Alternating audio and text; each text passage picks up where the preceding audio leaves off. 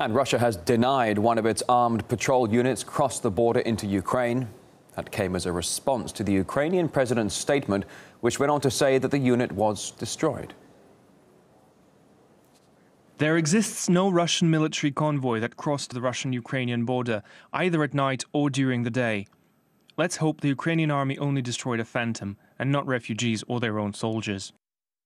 Well, the story emerged when two Moscow-based correspondents uh, for the UK's Guardian and the Telegraph newspapers posted on Twitter they saw a column of military vehicles with Russian plates crossing the border into Ukraine.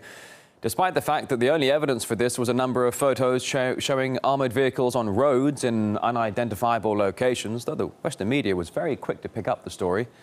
The EU and NATO expressed their concern at the news.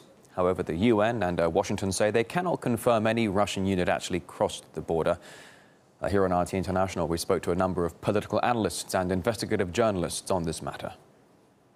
If this invasion had happened, the Ukrainians and NATO would have been desperate to get video of this or photographs up on the internet, on the TV, saying here is proof of a Russian, Putin led invasion of Ukraine.